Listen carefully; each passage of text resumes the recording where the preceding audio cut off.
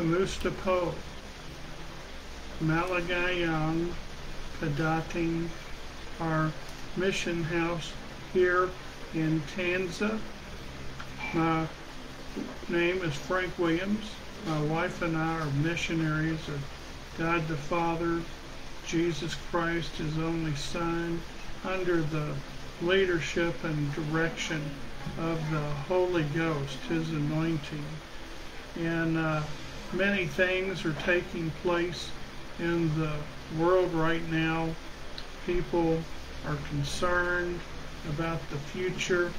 And uh, when you are a child of the King, when you are a child of God, when you've been uh, washed in uh, by His blood, you can. Uh, you don't have to be afraid.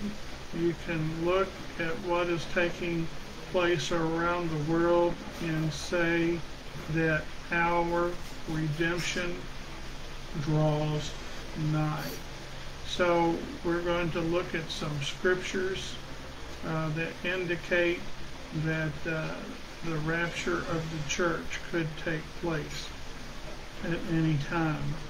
Uh, as we uh, tape that, this uh, we see that Russia and the military of Russia is attacking the nation of the Ukraine, and there's a lot of prayer, a lot of believers who are praying for their uh, brothers and sisters uh, uh, in the Ukraine, and it seems like the uh, prayers are producing fruit, and that uh, God is protecting uh, the children of God. Uh, that yet, God is, in all of the prayers are not receiving the credit. It's uh, the credit is going to the people of the Ukraine and the decisions of their political leaders and their military leaders that can uh, lead people to bad uh, conclusions uh, about the future. It can cause people to um, not give to God all of the praise, all of the honor, and all of the glory. So we need to notice that things around the world are taking place, and uh, the Bible does tell us that there will be a ruler, a charismatic uh, leader that will rise up, and he will seem to have the answers uh, to the problems that the world has. And so um, we have to remember that the Apostle Paul teaches us in uh, 1 Corinthians chapter 13, verse 8, that we know in part and we prophesy in part. We look into the future and we know in part and we prophesy in part. We look at Scripture and we're looking through a glass darkly uh, we look through uh, tinted uh, windows. God has put uh, tints, uh, colors on our glasses toward the future to phase out, to to, to protect ourselves from the harsh realities of the future. So He protects us so that we cannot see exactly what tomorrow holds and how things are going to play out. We, as at best, we read the Word of God and we see uh, through that glass darkly. We can see shapes. We can uh, we can uh, we can see shapes and patterns, and uh, we can interpret that based on the knowledge that God has given us, that His revelation to us in many cases is partial revelation. He does not allow us to see things perfectly. Again, you may have partial revelation, but the only one who has full, complete revelation on the events that uh, that'll take place uh, before the rapture of the church. Uh, only the Father has all of the details. So it's good to listen to the uh, scholarly and uh, educated uh, men and women of God that God has given some insight, but it's partial insight. It's not complete.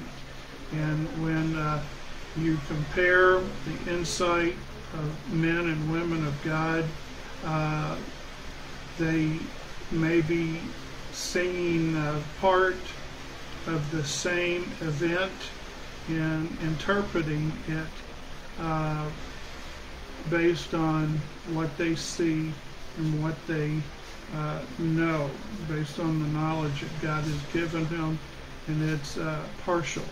We have partial knowledge and uh, partial revelation. So uh, we want to look at the Word of God because we know what we read in Scripture is correct. It's from God. All Scripture is given by inspiration of God. And uh, we need to rightly divide the Word of truth. And um, the Word of God tells us that uh, no man ha- is uh, has all of the answers. Only our Father in heaven and what He uh, re- reveals to us in His Word. And again, uh, it's partial revelation, and uh, we have to trust in the Lord. One thing that we can be certain is, is no matter how the Father allows it to play out, He is in full control, and there is nothing that will take place that will catch our Father by surprise. So um, let's look at uh, the Gospel of John. We're going to start with uh, chapter 13. They're uh, similar uh, chapters. Uh, Matthew 24 is a companion to this, and so is the Gospel of Luke chapter 21. There are many uh, verses in Scripture that tie into this, uh, but today we're only going to cover uh, some of the highlights from Mark chapter 13. Some of these things have uh, come to pass and um, already have been fulfilled, and some of these things uh, will take place in the future, and possibly much sooner than many people are willing to consider. Verse 1 And as he, as Jesus, went out of the temple, one of his disciples saith unto him, Master, what manner of stones and what buildings are here? I have not been to Jerusalem. I have not seen the temple. Uh, Herod was on the throne. He was the uh, governor for at this time, and that uh, Herod was not a Jewish king. He was not from the line of David, and uh, Herod tried to curry favor from the Jewish people, so he embarked on a big uh, building project on the temple. Uh, so the remain uh, the the structures on the Temple Mount known as the Wailing Wall that isn't uh, from it's not the remains of Solomon's temple when uh, what Herod sought to do as he was seeking favor from the Jewish people is he expanded the Temple Mount so that what is on the Temple Mount now is the ruins from uh, where uh, he expanded the Temple Mount complex. But, uh, but it is not the remains of the actual temple of Solomon's temple, uh, which was destroyed in 70 AD, also with the city of Jerusalem. So J- Jesus tells us uh, about this. Jesus answering said unto him, Seest thou these great buildings? There shall not be left one stone upon another that shall not be thrown down. He was talking about the temple itself. It was destroyed by the Romans in 70 AD. There were rumors of the walls being uh, filled with gold. So the Roman soldiers, they destroyed the temple and they were looking for treasure. They were looking to spoil. They were looking for riches in the walls of the temple. And so this occurred in 70 AD.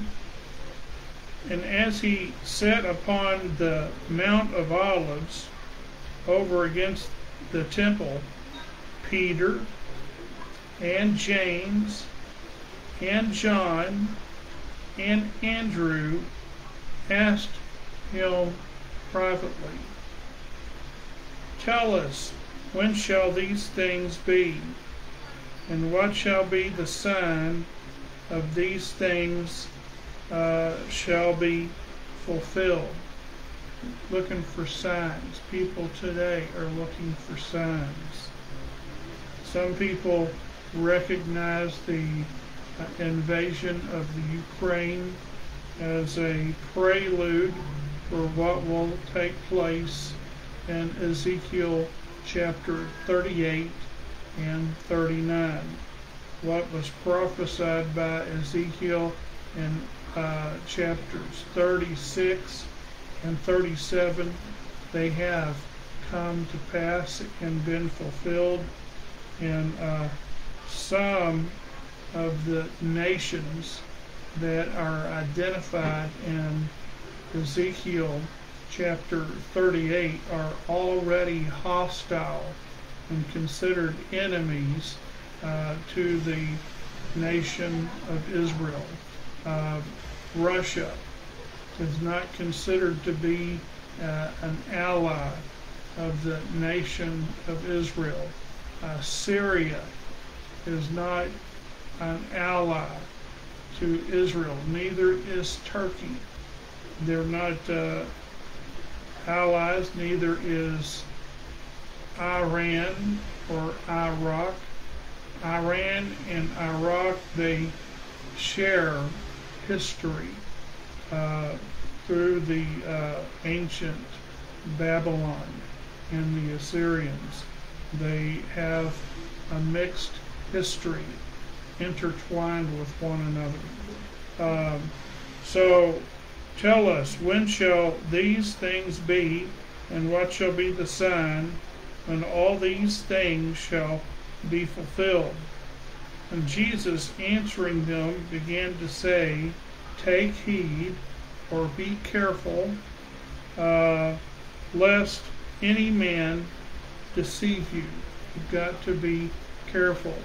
You need to read the Word of God. Jesus teaches us if you continue in my word, you can then you are my disciples.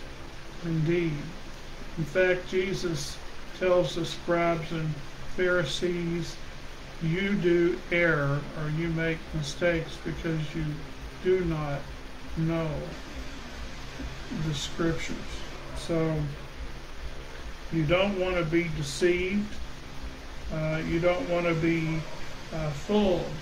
There is a fella here in the uh, Philippines. I think his name is Kubaloy or Kibaloy, and uh, he thinks he considers himself to be God incarnate, and apparently he has many uh, in the Philippines who agree with his conclusion. But Jesus says, uh, Take heed lest any man uh, deceive you. For many shall come in my name, saying, I am Christ, and shall deceive many. Now, that also can be people who rise up as leaders and they identify themselves as a, a man or a woman of God. I am Christ, and they shall deceive many.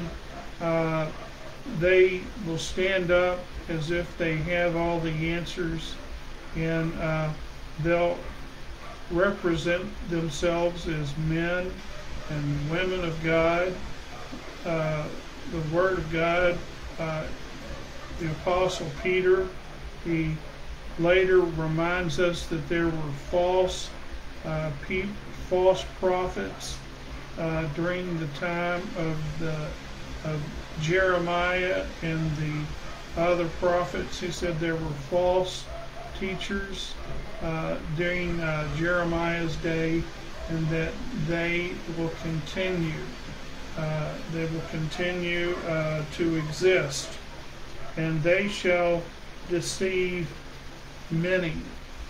So you need to know the word. You can you need to continue to search the scriptures because in them you find eternal life in the word of God. Verse 7 And when ye shall hear of uh, wars and rumors of wars, uh, be ye not troubled, for such things must needs be, but the end shall not be yet. For nation shall rise against nation, and kingdom against kingdom. There shall be earthquakes in divers places, and there shall be famines and uh, troubles these are the beginning of sorrows. There are wars and rumors of wars.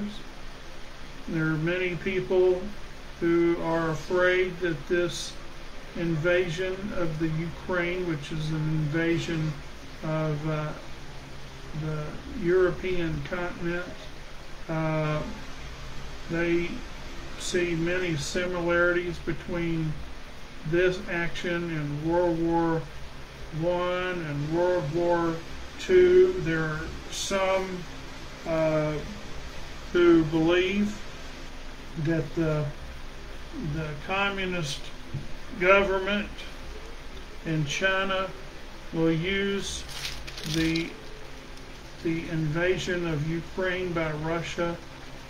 They believe that they'll take advantage of this confusion. And while the world is focused on the invasion of the Ukraine, many believe that uh, China will be tempted to take action or hostile action against the uh, government of Taiwan.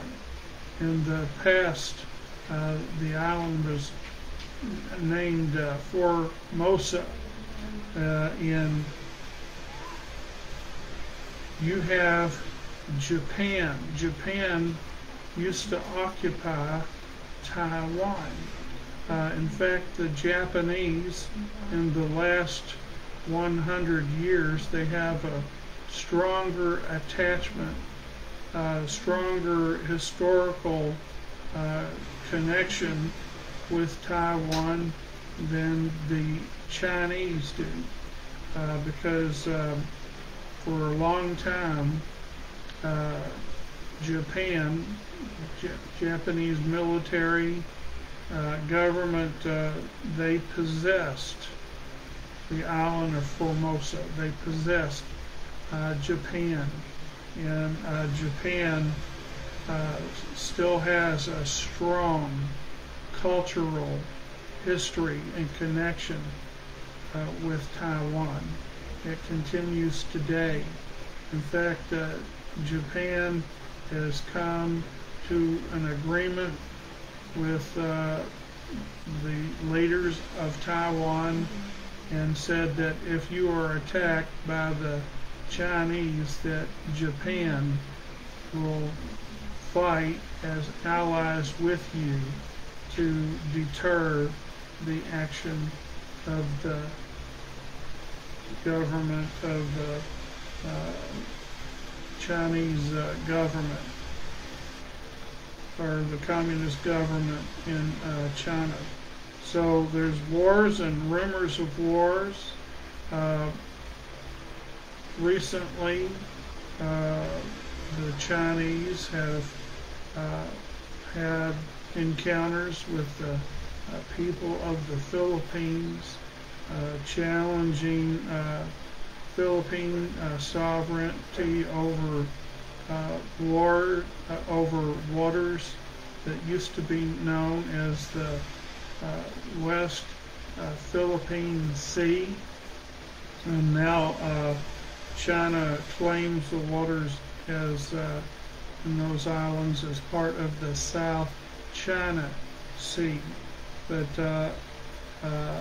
areas that have the World uh, Court has determined that these uh, uh, lands, these islands, uh, is considered to be uh, sovereign territory or sovereign water of the Philippines. So that uh, there are wars and rumors of wars. But Jesus teaches these are just the beginning of sorrows.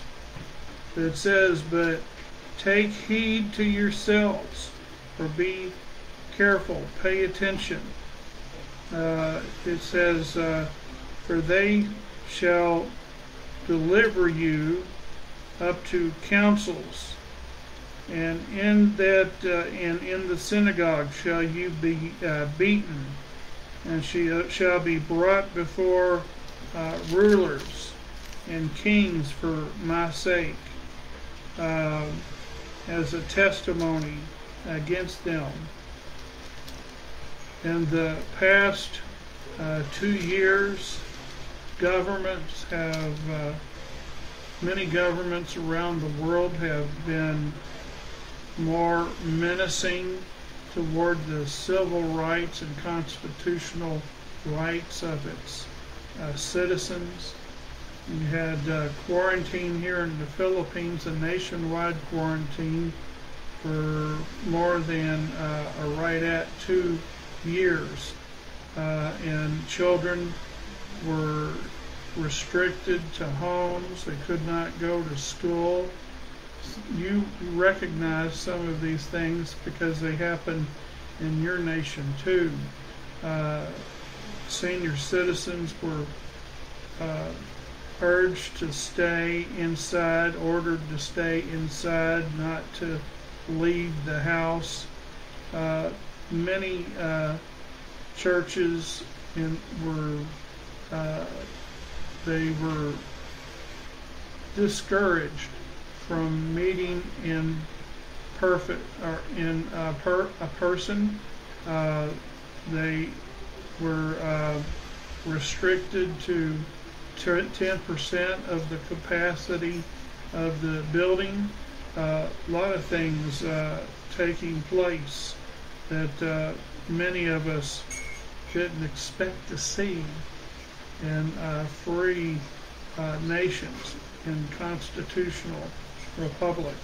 And yet, these things happen by the hand of unelected uh, bureaucrats, uh, not by uh, people who had been elected in uh, national or local elections. These things happen around the world and just shows you how quickly uh, freedoms that you hold dear can quickly vanish. uh, recently uh, in Canada, you saw the Prime Minister of Canada, Justin Trudeau. Uh, he he uh, put restrictions upon political speech. They've uh, had uh, pastors arrested for having uh, services, and uh, they've seized the entire uh, bank accounts of political dissidents, people that did not agree with their actions politically, and uh, so these things are happening around the world, and some of these issues have not yet been decided, uh, have have not been worked out. In fact, uh, in the United States, there are there is a trucking convoy uh, that I understand is making its way toward uh, uh, Washington, D.C. D.C we need to pray for uh, people that they would be led of the Lord and that God would give them uh, great wisdom and that they uh, would listen to the advice of men and women of God and they would seek the counsel of God and uh, and be good representatives, good spokesmen uh, for the Lord. Many times, uh, men and women of God in Scripture, prophets, they spoke truth to power, but they were also willing to pay the consequences. And uh, governments um, they don't always side with the people of God. So you got to be prayed up. Uh, we see here that uh, uh, some uh, believers will be delivered into councils uh, before boards.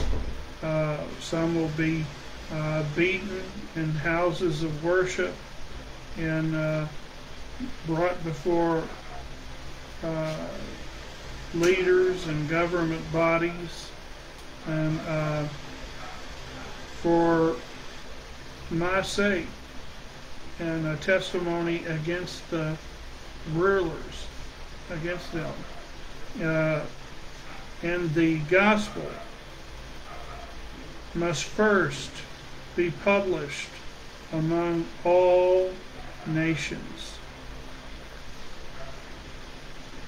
But when they shall lead you,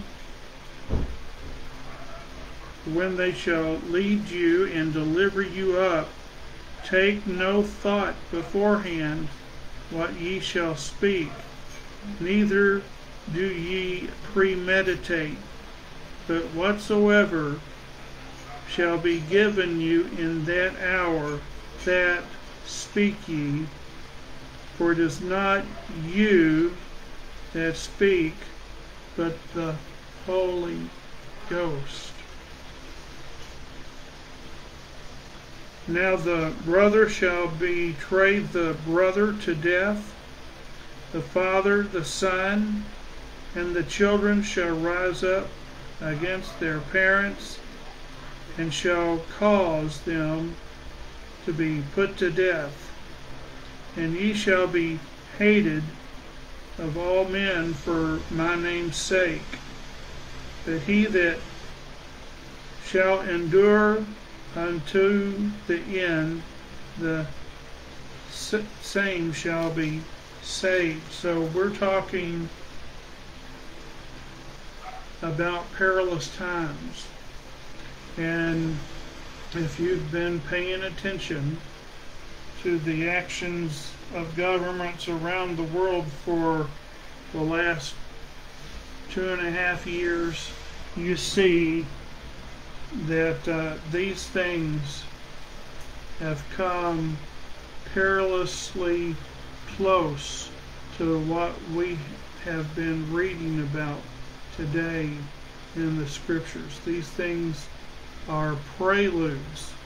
Uh, some would say that they are uh, test testing the waters for events to take place in the future, the near future.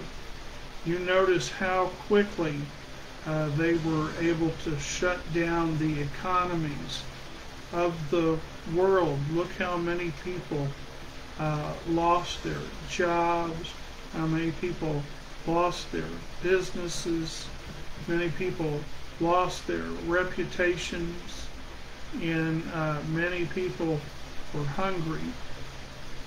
During this quarantine, however, our Father in heaven continued to have mercy. He continued to bless uh, this ministry.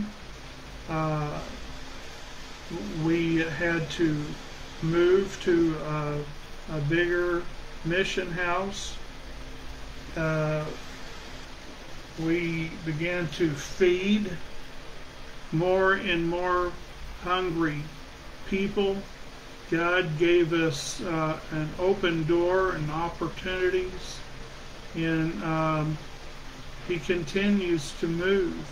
Uh, we have seen uh, many young people draw closer to the Lord, and in our services, uh, frequently, almost every time, uh, it's standing room only.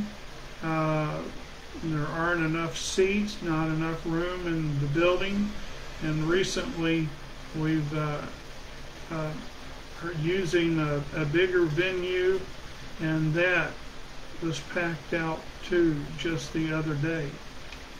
So we as believers, we need to be, uh, we need to be paying attention. Uh, but when ye shall see the abomination of desolation spoken of by Daniel the prophet, let those who have uh, standing where it ought not uh, be. This is talking about in the future. There are some things that are that will take place after the rapture of the church, and there are things that uh, will take place uh, before the rapture of the church. Things have progressed so quickly that uh, people who are wise shall make themselves ready, shall prepare themselves for things for the rapture of the church, because these are things that are uh, taking place uh, so quickly so very uh, quickly. I, want, I don't want to go any uh, farther right now because we're already uh, 35 minutes into this uh, prayer time and Bible study.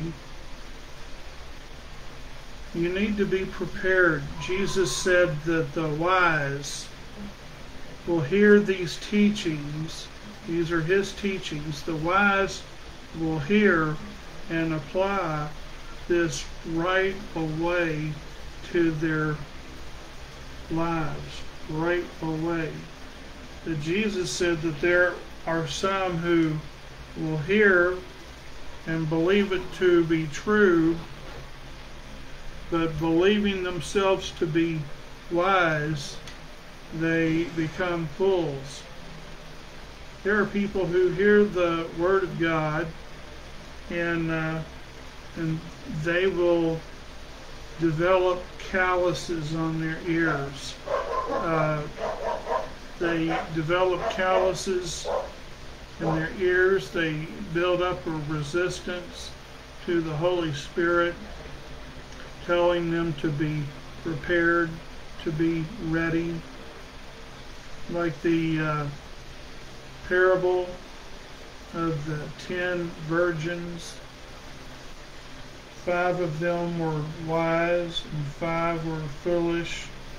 The wise made sure that they had an ample supply. They wanted to make sure that they had more than enough anointing. They wanted to make sure that they had more than enough so that they could wait for the bridegroom. But the foolish, they thought that they were wise, and uh, so they didn't take enough.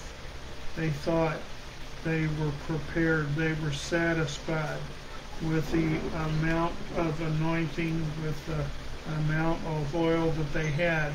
So they didn't take the action that was required to make sure that they had more than enough oil. So when it was heard that the bridegroom uh, comes, they want to borrow oil from their wiser friends, and they were denied because we want to make sure that we have enough for ourselves. So they went looking for more oil. But while they were gone, they the bridegroom came. You need to make sure that you have more than enough anointing. You want to make sure that you have plenty of oil for when the bridegroom comes because if you are not prepared, if you are not ready, uh, he will shut the door, and the door will not be open. There, the Bible doesn't tell us that He opens the door again. The time is lost, the opportunity is gone. Uh, we need to be paying attention. He tells us in 1 Thessalonians chapter 5 the Holy Spirit speaking through the Apostle Paul tells us, You know perfectly that the day of the Lord comes like a thief in the night, when people are uh, talking about peace and safety, then as a pregnant woman will go into labor suddenly, uh, then there will be no escape. You need to be ready. You need to be prepared. Jesus says that those who stay ready, who stay vigilant, are wise, and this benefits their family. But there are those who are foolish. They think they can uh, put off, delay making the adjustments that are necessary to make sure they are prepared at all times. They think they have plenty of time. They think that they have pl plenty of time. They rest upon false security. False security. They think that they're secure, but they are wrong. In fact, uh, the Apostle Paul in Romans chapter 12, verse 3, he tells us that we need to take accurate assessment of ourselves. We need to take stock. of reality. Allow the Holy Spirit to speak to you. For we've all been given the measure of faith. What are you going to do? I urge you to be prepared, to be ready at all times. Because in a moment that you think not, the Son of Man will come. 1 Thessalonians chapter 4, verse 16. For the Lord himself shall descend from heaven with a shout, and with the voice of the archangels, and the dead in Christ will rise first, and we who are alive and remain shall be caught up to meet the Lord Jesus in the air. He tells us it is appointed for a man or woman once to die, and after that is the judgment. But the next verse says that Jesus, he will appear the second time, looking for those who are looking for his return. Yes, he's looking for those who look for his appearing. Be wise. Make that decision today. Let's take time to pray. Pray with me if you want. Dear Heavenly Father, I always want to be prepared for the coming of the Lord. I want to be prepared at all times. Remind me, Holy Spirit, to always seek to have more than enough of the Holy Ghost so that I can tarry until you come, so that I can endure to the end. Lord, help me to be ready. Help me to be prepared. Help me to live for you from the bottom of my heart one day at a time. Help me to pursue it one day at a time. Lord, I want to be close to you. You said in your word that you will draw near, if I draw near to you, that you draw near to me too. We thank you, Father. Speak to people. Help them to make that decision to walk with you every day, to be as close to you as possible every day. Lord, I want that safety, so I want to stay close to you, the Good Shepherd.